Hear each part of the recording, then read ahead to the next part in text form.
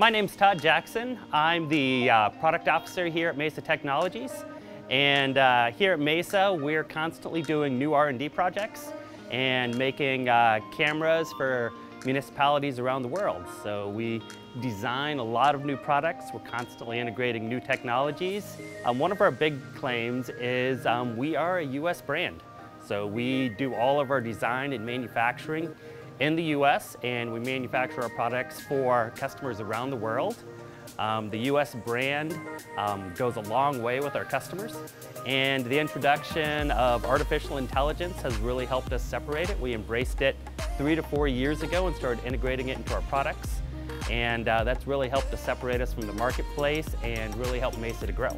We use a lot of the products from Phoenix Contact anything from the M12, M8 connectors and modules that go on our boards to the DIN mount enclosures that our boards will go into on our DIN rails, uh, power supplies. We found the Phoenix Contact power supplies to be great for our system for reliability, robustness, and just, you know, long-term use. It meets our budget to keep our product competitive.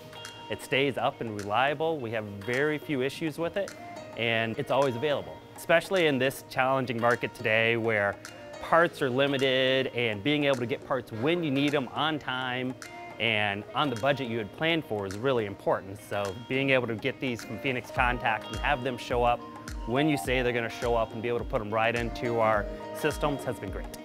One of the other big benefits we've really enjoyed with the Phoenix Contact enclosure that we mount on our DIN rail is there is a print on the top. So you know, historically in the past, you'll have a schematic on the board, but with these new enclosures, what we've really found is that we can work with Phoenix Contact to lay out exactly what every termination is, what the voltage ranges are, and all of that is printed right on the top of the enclosure. So when the customer goes to install them, or even in manufacturing when we're setting them up, everybody knows exactly where everything's going. They've got a drawing that shows what the connector looks like, tells you exactly what the voltage is, tells you if it's high voltage, low voltage, if it's ethernet, it's easy to install.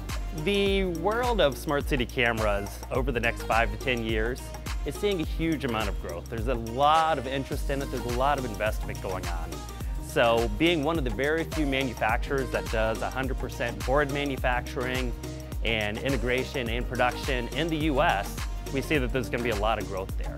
So our history with Phoenix Contacts has been that, you know, we've got a lot of products that have really met our needs and as we continue to adapt to this evolving market, which is truly in its infancy stage and it's evolving, um, we look forward to working with Phoenix Contact on better ways to integrate the products and ways to meet our customer needs with newer products that come out.